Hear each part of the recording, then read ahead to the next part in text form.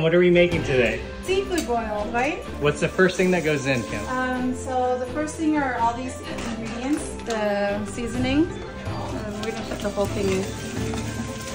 It's like chili oil. Oh, chili oil. Yeah. Amazing. Put the whole thing in. This is the secret. Sunny D, guys. Must add. As soon as that's done, we throw in all the veggies. Then once that comes into a boil, then we'll throw in the crawfish for five minutes. And the clams too.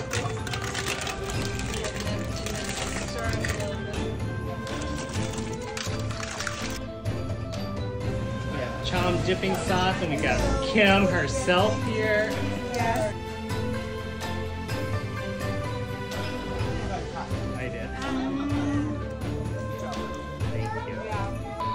You. on three, one, two, three. Oh, wow. Woo! Now it's spicy.